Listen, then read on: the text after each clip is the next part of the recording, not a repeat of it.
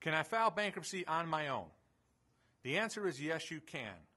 Would I recommend it? Never. Bankruptcy law has gotten extremely complex since the law changed back in October of 2005. In fact, many attorneys who used to do a bankruptcy case here and there are no longer practicing bankruptcy law as well. They are leaving it in the hands of a small group of individuals who've decided to make bankruptcy law their profession. It's very tricky these days. There's a lot of potholes. There's a lot of ways to get tricked up. The best thing to do is find a qualified bankruptcy attorney to guide you through the process. Do not try to file bankruptcy on your